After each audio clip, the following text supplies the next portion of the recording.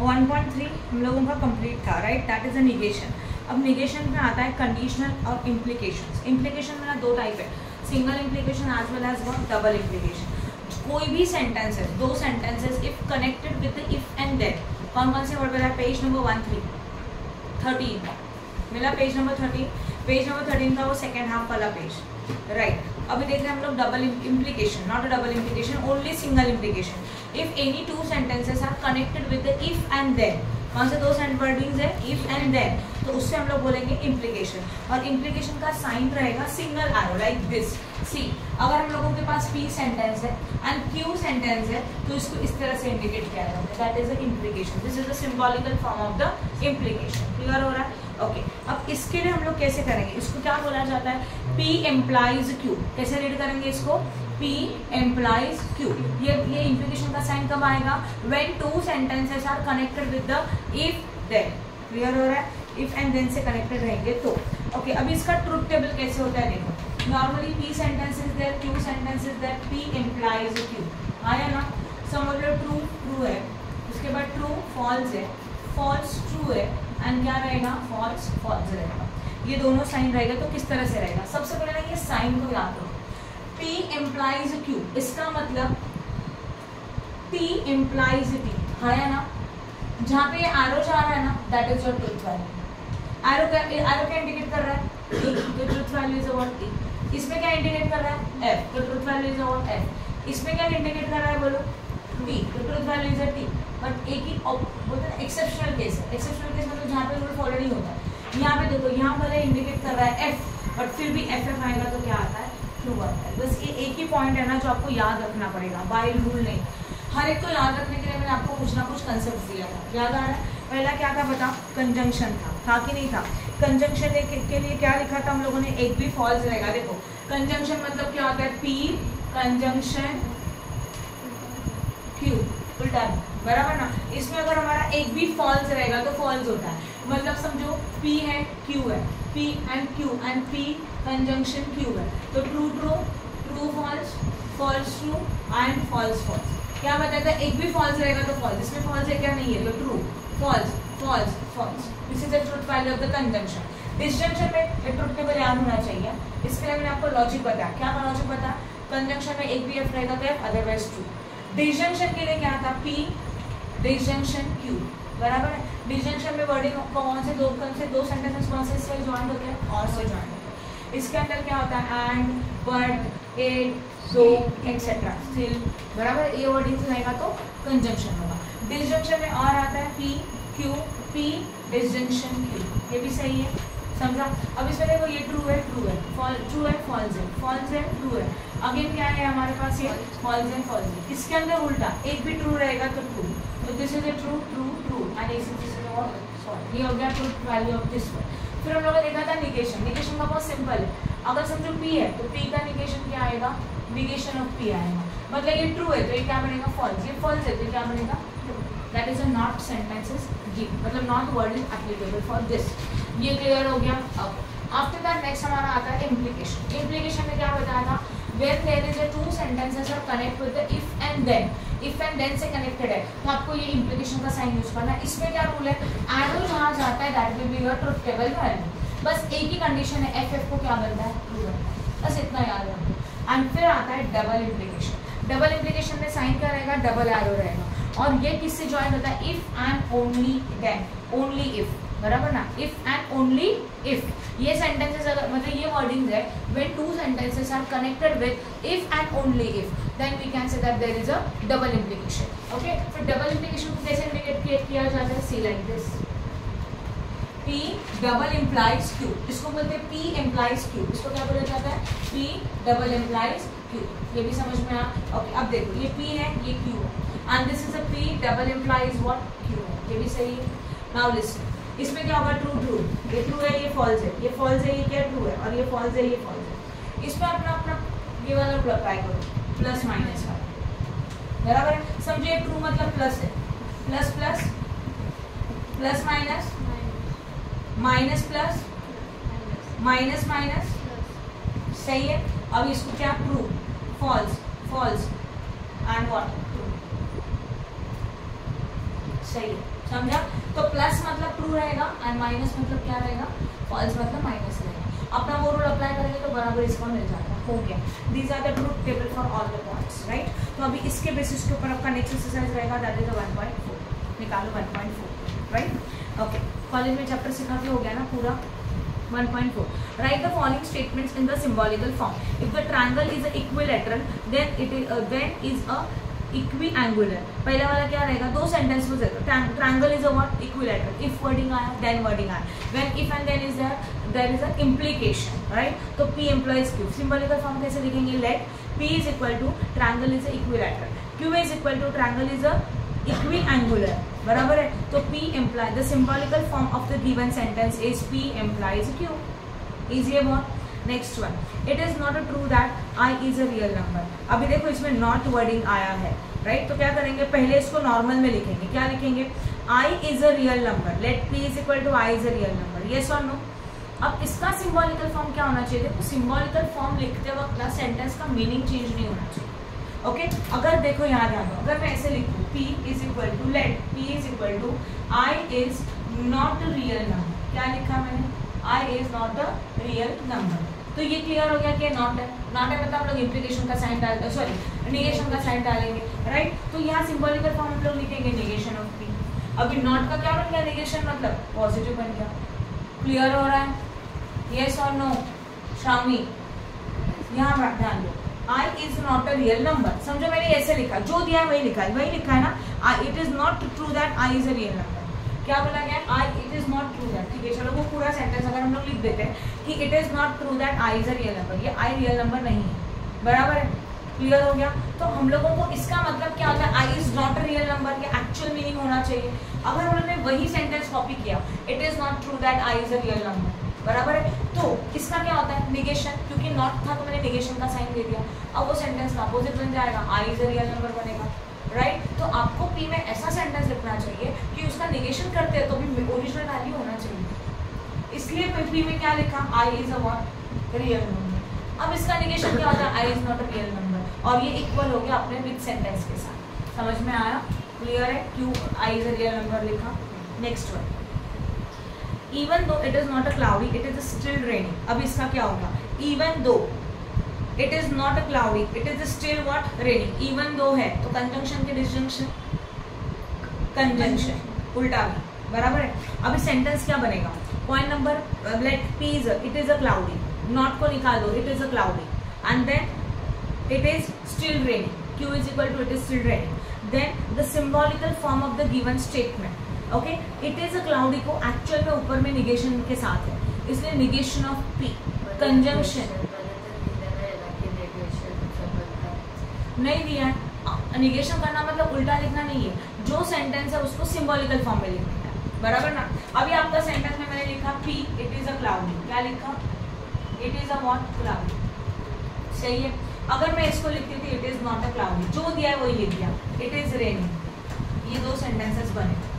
Symbolical form लिखना मतलब not है। तो मुझे कौन सा साइन देना चाहिए? तो negation of P conjunction Q ये लिख देंगे। क्योंकि कौन से वर्ड से ज्वाइंट है ये? इवन दो से ज्वाइंट है। इसलिए कंजंक्शन लिखा। अब मुझे बताओ, अगर मैंने निगेशन ऑफ़ पी कर दिया तो पी का निगेशन क्या बन जाता है? It is a cloudy right right? तो जो सेंटेंस अगर निगेशन में है तो उसको पहले पॉजिटिव में लिखो, फिर उसका निगेशन लिखो। देन अल्टीमेटली बन जाएगा इट इज़ अ क्लाउडी ना? तो negation of P means it is not a cloudy तो सिंबॉलिकल फॉर्म में वही मीनिंग होना चाहिए, जो क्वेश्चन में होना चाहिए। क्लियर हो गया? इस प्लेस कैसे? समझा कि नहीं समझा? क्योंकि सिंबॉलिकल फॉर्म तो लिखने का ही हम लोगों को। After that, next one is what? Even though it is not a cloudy, it is still raining. ये तो हो गया। समझा ये कैसे लिखना है वो? आगे। Milk is white if and only if sky is not blue पहले क्या होगा? इफ़ एंड ओनली इफ़ मत be what double implication sign तो क्लियर हो गया डबल इम्प्लीकेशन के बाद। ओके उसी के साथ एक निगेशन के साथ है। राइट तो पहले लिखेंगे let p is equal to milk is a what white and q is equal to the sky is a what blue not को निकाल दो नॉर्मल लिखो। बराबर ना स्काई इज़ ब्लू लिखे। अभी होगा P double implies Q but Q को कौन सा साइन देंगे? निगेशन तो ऑटोमेटिकली वो नॉट वाला sentence true after that stock prices are high if and only if stocks are rise again if and only if आया। तो डबल इम्प्लीकेशन तो let P is equal to stock prices are high Q is equal to stock prices are rising yes और no और फिर लिखेंगे P double implies what समझा कि नहीं समझा? If Qutub Minar is in Delhi then Taj Mahal is in Agra if and then if and then में single implication होता है तो Qutub Minar is in Delhi Taj Mahal is in Agra P implies Q is a symbolical form easy है बहुत, आगे देखते हैं. Find the truth value of the each of the following statement हम लोगों को स्टेटमेंट का क्या निकालने का है? Truth value it is not a true that three minus seven i is a real number okay अब सबसे पहले लिखेंगे कि three minus seven i is a real number right इसका सिंबॉलिकल फॉर्म क्या बनेगा? Negation of the what P है ना अभी मुझे बताओ पहला ट्रूथ वैल्यू एक्चुअल में क्या है? पी का it is a false three minus seven i is a real number actual देखा जाए राइट तो three minus truth value of the P P का ट्रूथ वैल्यू क्या हो जाएगा? फॉल्स uh, हो जाएगा राइट है? Right it is not a real number it is a imaginary number i is a imaginary number होता है नॉट अ कॉम्प्लेक्स नंबर होता है रियल नंबर नहीं होता ओके तो truth value of the P is equal to what three minus seven i is a real number is a what false ये समझा? अगर ये फॉल्स है, अभी देखो लिखेंगे कैसे? पहले क्या लिखा आपने? P is a which number p is equal to three minus seven i is real number सही है? थ्री माइनस सेवन आई कौन सा नंबर है? रियल नंबर है। ये लॉजिक तो क्लियर हो गया। ओके अगर थ्री माइनस सेवन आई हमारा रियल नंबर है तो इसका सिंबॉलिकल फॉर्म कैसे लिखेंगे हम लोग? निगेशन ऑफ़ पी लिखेंगे। क्यों निगेशन ऑफ़ पी लिखेंगे? Because it is not real number बोला है ना सेंटेंस में तो ये सिंबॉलिकल फॉर्म होगा। बराबर, अब इसका ट्रूथ वैल्यू चाहिए। तो सेंटेंस पी का सेंटेंस का ट्रूथ वैल्यू क्या है? पी सेंटेंस का ट्रूथ वैल्यू फॉल्स है। है कि नहीं है? तो क्या लिखा जाएगा? Truth value of the P is equal to what false अब देखो। पी का ट्रूथ वैल्यू क्या है? फॉल्स निगेशन ऑफ़ पी का क्या मिल जाएगा? ट्रू सही है। पहले पी का ट्रूथ वैल्यू लिखा। फिर हम लोग पिका पिका क्या लिख रहे हैं? निगेशन लिख रहे हैं ना? तो निगेशन मतलब इसका क्या हो जाता है? अपोजिट तो ट्रूथ वैल्यू क्या बनेगा? टी खत्म. समझ में आया? हो गया। एनी डाउट इन दिस बोलो फटाफट। देखा डाउट है। बोलो। P sentence is what three minus seven is real number it is a true और it is a false false हाँ तो पी का ट्रूथ वैल्यू क्या है? ओनली पी का ट्रूथ वैल्यू फॉल्स है। अभी हमने सिंबॉलिकल फॉर्म क्या लिखा है? निगेशन ऑफ़ पी लिखा है। तो पी तो लिखा पी का ट्रूथ वैल्यू फॉल्स था तो फॉल्स का निगेशन क्या होता है?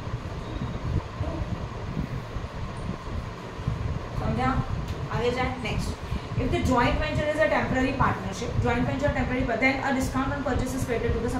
ठीक है, सबसे पहले मुझे बताओ सेंटेंस का फॉर्म क्या है? पहले क्या लिखेंगे?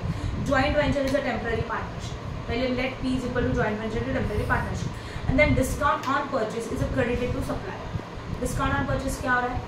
सप्लायर में क्रेडिटर है।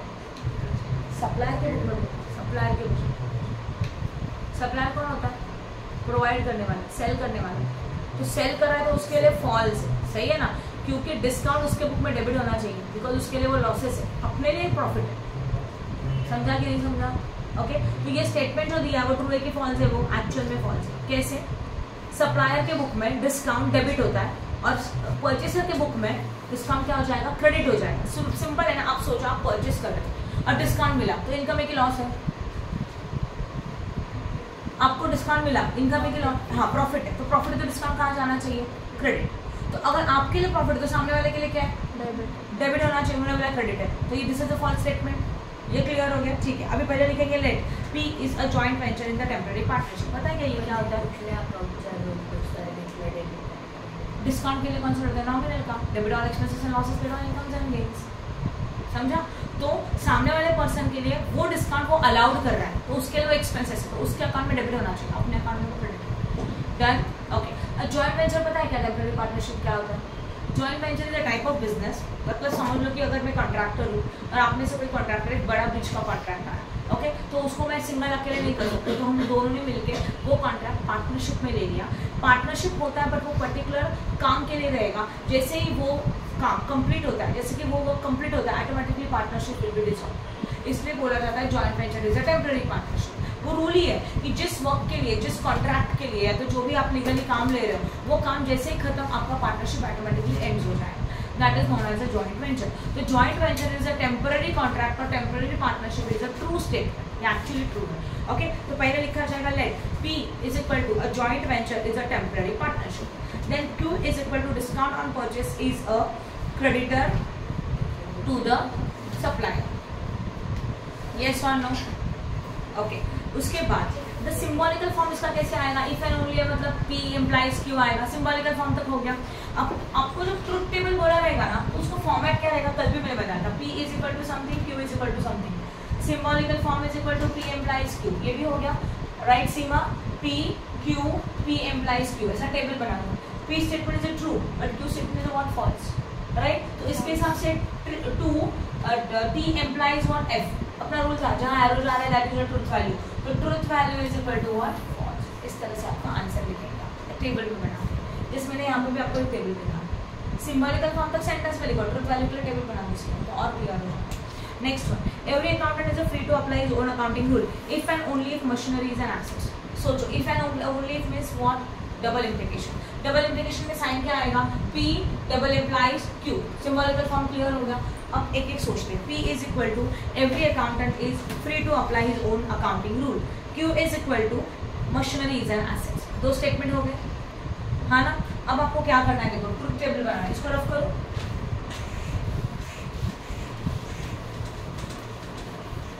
पहले लिखेंगे P, बाद में लिखेंगे Q, बाद में लिखेंगे P डबल इम्प्लाइज Q. पहला स्टेटमेंट क्या है? Every accountant is free to apply his own rule true और फॉल्स एक्चुअली फॉल्स उसका खुद का वर्ड अप्लाई कर सकता है क्या नहीं कर सकता? तो this is a false then Q is equal to what machineries and assets तो इट्स अ ट्रू अभी रूल के हिसाब से भी डबल एम्प्लाइज क्यू के लिए प्लस माइनस वाला साइन यूज़ होता है। तो अगर ये माइनस है तो ये क्या है? प्लस है। Plus minus what minus minus means what false truth value done समझा? आगे neither 27 is a prime number not divisible by 4 27 prime number नहीं है। और ये डिविजिबल बाय फोर भी and not divisible by what four सबसे पहले इसका साइन डिसाइड करो। साइन कौन सा आएगा? Symbolical form conjunction disjunction is what बोलो।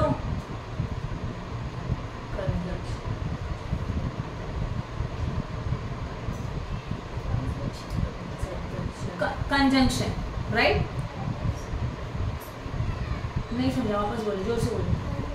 कंजंक्शन क्यों आया? क्यों आएगा? उसके सेंटेंस क्या है? नाइदर नॉर है। नाइदर नॉर है?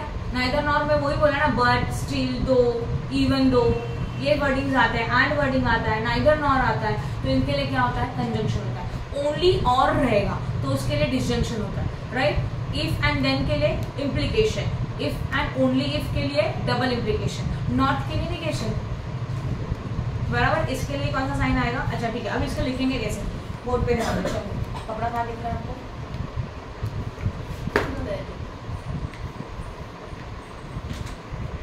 नाइदर मतलब ये नॉट में लिखा हुआ है।